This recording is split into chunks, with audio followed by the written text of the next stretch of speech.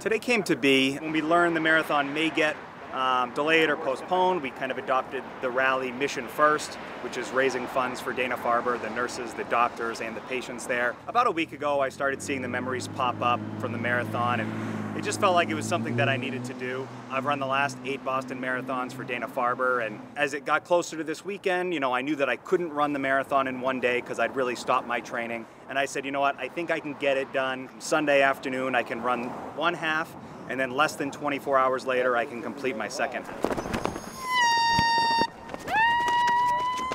I started um, actually right back behind here was my first half marathon, which I ran for my dad back in 2011. When he was diagnosed with leukemia a few years after losing my mom to lung cancer, I left Boston, moved back home, and picked up running with a little bit of spare time.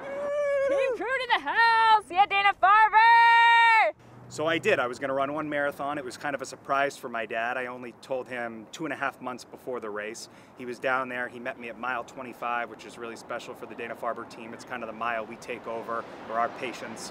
Um, and at that time, he was doing great. He beat his leukemia. he'd had a stem cell transplant, and he relapsed about three months later and lost his battle. So every year since then, um, I've walked in the fall with uh, about 100 friends and family under the banner Team Kroot and um, I've run every Patriots Day since then. Congratulations.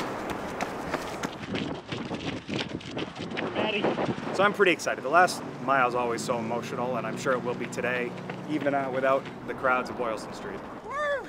Woo! Yee, Woo! oh yeah. There we that go. was a big last mile. Embrace what you can during these times. You know, run, run smart, be safe, but you know, keep to those things that, that keep you going and keep moving you forward. Thank you, dear. You did it.